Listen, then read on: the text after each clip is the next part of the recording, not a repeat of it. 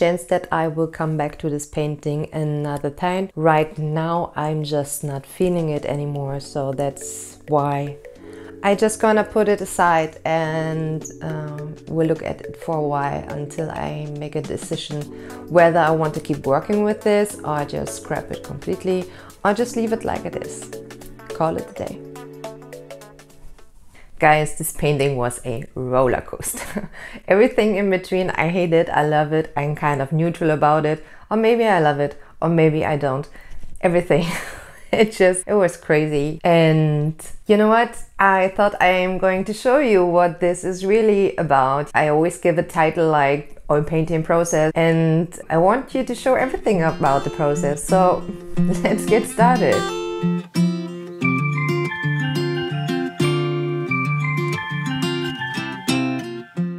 Gave it a blue acrylic wash because when I paint very light skin I like to have something that isn't white so it's easier for me to find the right values. I don't necessarily need that but I find it easier to do so. So that's what I did.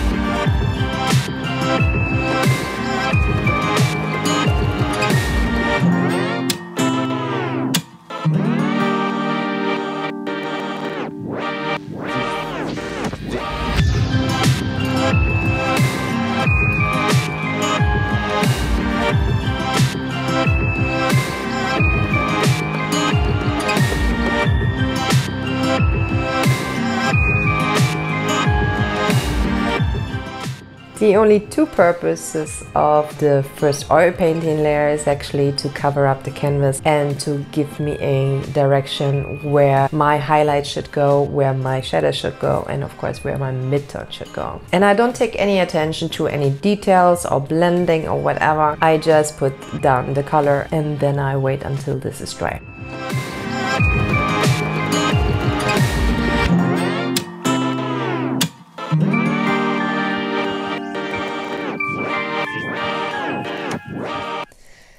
Am done with the first layer. I am super excited. I love the colors and I thought I'm going to have a lot of problems painting this blue eyeshadow, which turned out to be quite easy actually. And I am super happy with how it turned out. So I am happy to go back painting because the first layer is dry. So moving on.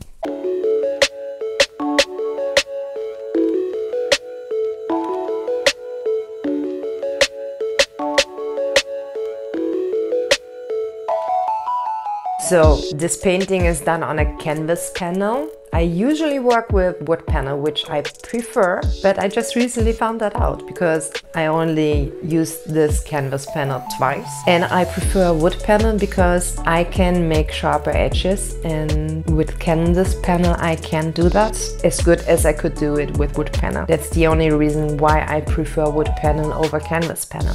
For the rest, it's just, it works just fine. Even though it came pre-primed, I did a layer of gesso over it just because I heard they use a very cheap primer for this canvas panel and then it will just suck up the paint in the first layer and I didn't want that. Especially when you put the high prices of oil paint in consideration, you know?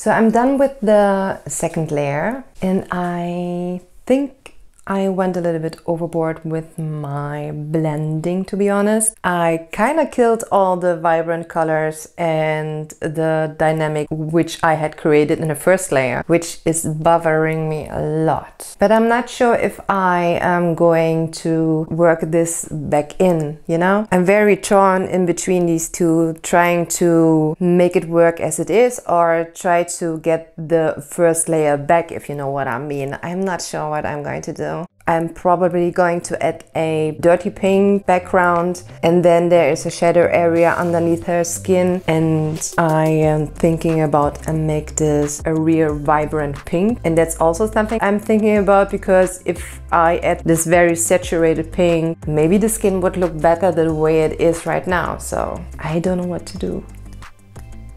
I think I just keep going and then I will figure it out along the way. That's the fun part, right? So let's see what happens.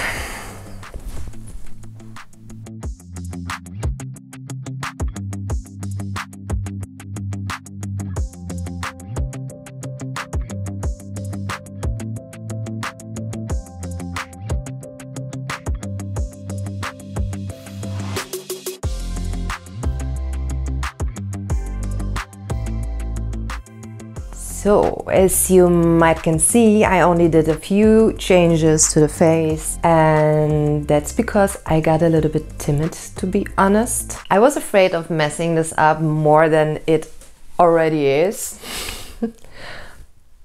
I don't know what I'm going to do about that. The thing I'm, I'm sure about is that I want to change the background because I uh, don't like the color at all. Also the pink shadow, it's supposed to be a shadow but it doesn't read as one. It just looks like a weird shape in the background. I don't fancy much to be honest. I think the eyes turned out very good but for the rest it's a little bit flat.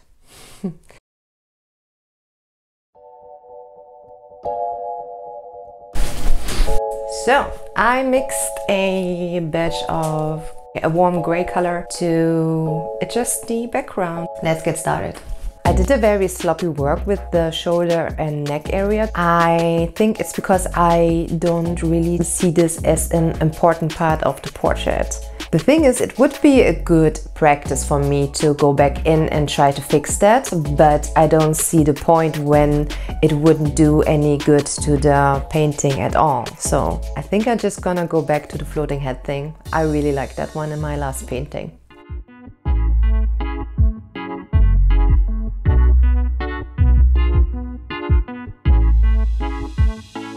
Just changing the color of the background actually can help me get motivated again.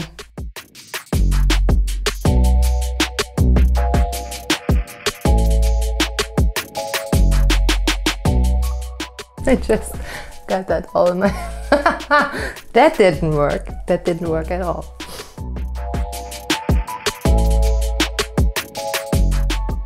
I like the background much better the way it looks right now. However, I think I want to give the face somewhat more depth, I guess. We will see. I have to wait a couple of days before I can come back with painting because obviously the background needs to dry and then I have plenty of time to rethink what I am planning to do next.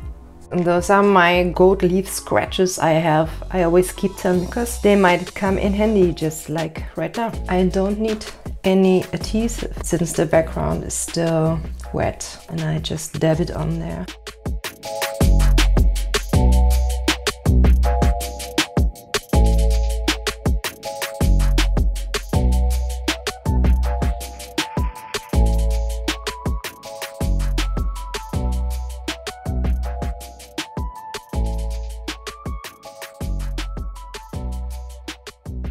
There were many ups and downs making this painting, but I'm glad I didn't give up because I learned a lot and I think this is the most important thing. It doesn't matter what the painting looks like in the end. For me it's more important that I have made mistakes and learned something from that. I'm very glad that I changed the background because this looks much better than the pink one I had before. I think it has a calmer presence to it than it did before and I like the gold leaf but I'm always a fan of gold leaf.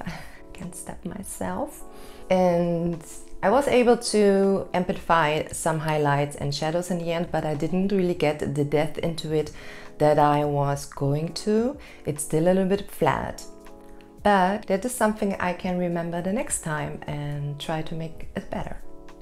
So let's say this isn't my best work, but it's also not my worst. So I declare this painting as finished and I'm going to start a new one right now. Thank you so much for watching. If you made it to here, you're my favorite person in the world. See you in the next time. Bye.